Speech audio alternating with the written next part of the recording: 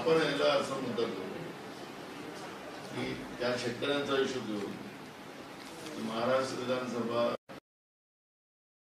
शेतकऱ्यांच्या आंदोलनाला आमचा पाठिंबा आहे. की जे तीन काळे कायदे झाले त्याच्या विरोधात हे आंदोलन चालू आहे. त्या- आणि राज्याला घटनेच्या त्या कुठल्या जे तुम्ही सांगितलं त्याप्रमाणे आपल्याला राज्याला हा राज्याला कृषी कायदे करण्याचा अधिकार असताना केंद्राने लावलेले कायदे हे राज्यात राज्याने स्वतंत्र कायदे करावे शेतकऱ्यांच्या हिताचे दोन.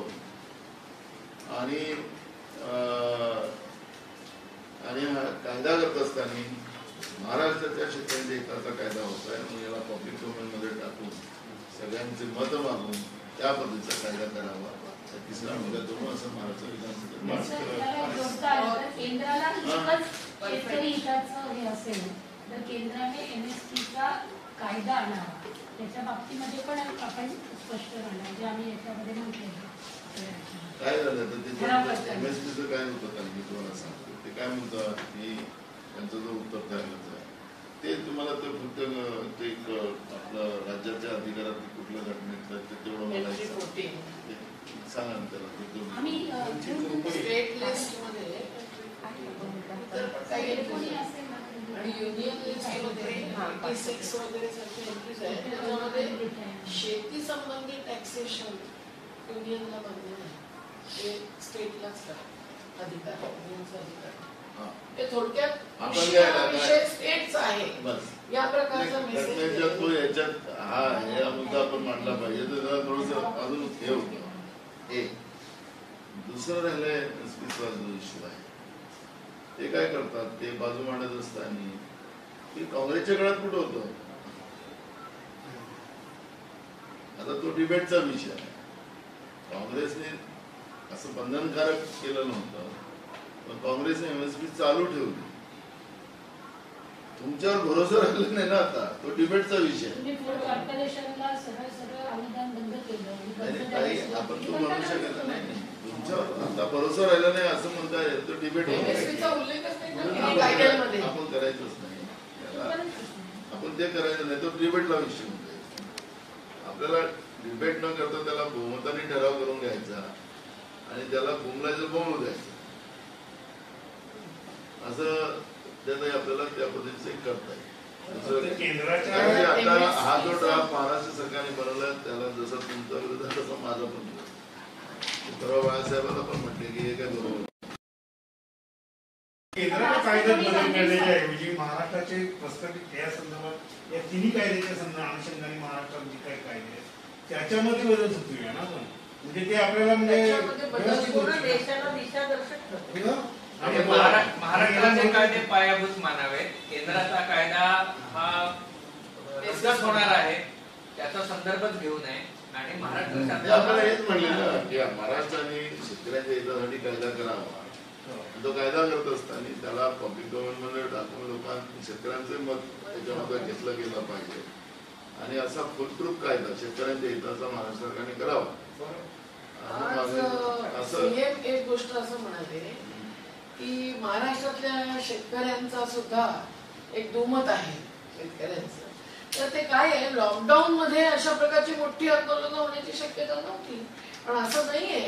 की मेजॉरिटी शेतकरी कारण महाराष्ट्रात जर पंच्याहत्तर टक्के शेतकरी हे छोटे आणि सीमांत आहेत तर त्यांचा तर याला विरोध असलाच पाहिजे. आणि कळलं नसेल म्हणून विरोध समोर येत हो, नसेल. अंदाज राहिला असेल तर सगळ्यांना पण जाऊ द्या चर्चाच नाही करायची त्याला काय करायचं?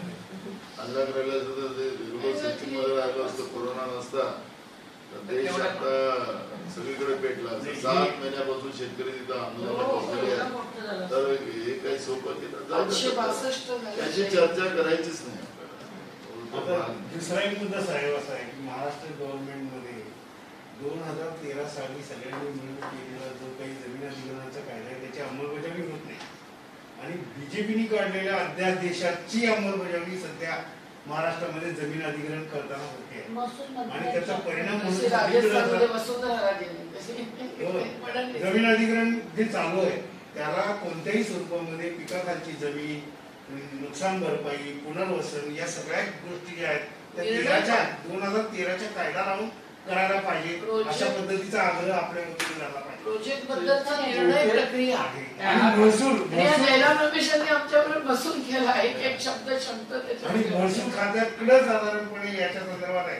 देवेंद्र फडणवीस यांनी केलेले नियम त्या नियमा आधारे जमीन अधिग्रहण होते. त्यांचे नियम समजा जर हे सरकार जर पाळत असेल तर या सरकारमध्ये नेमकं काय बदल आहे? दोन हजार तेराला असा प्रश्न आहे. सेंट्रलने जो कायदा केला तो बदलण्याचा घाट मोदींनी घातला.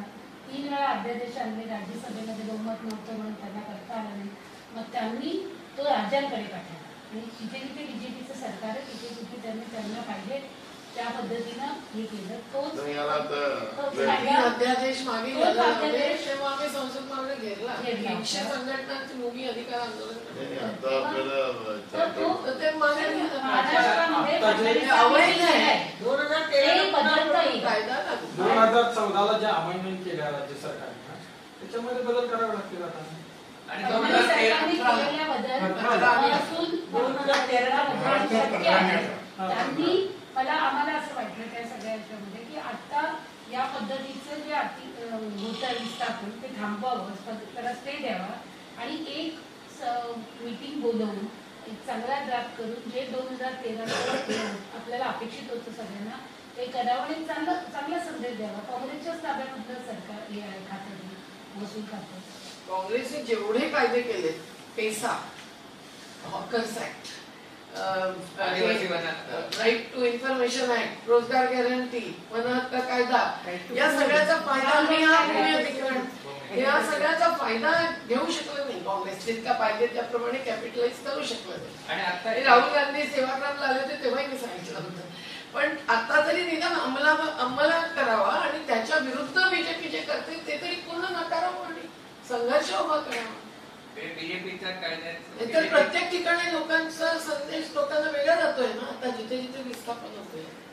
शहरीच नाही ग्रामीण सुद्धा तर त्या कायद्यामध्ये खास जे आम्ही घातलेले आहे ती पर- प्रक्रिया निर्णय रमेशांची एकदा बोलून घेतलं तरी चालेल. मला. आणि महाराष्ट्राचा जो आहे त्याचं ट्रान्सलेशन करून त्यांना पाठवा.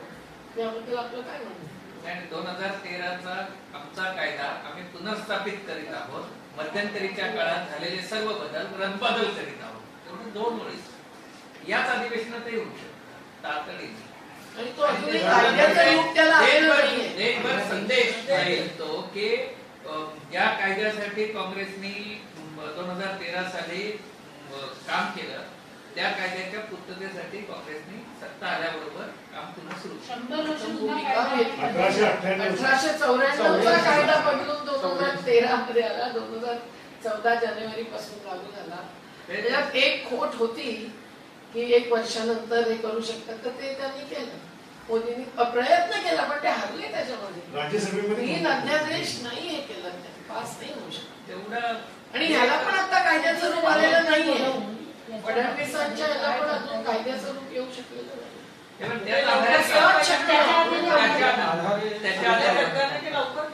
नाही त्याच्या आधारे भूमी अधिग्रहण चालू आहे ना.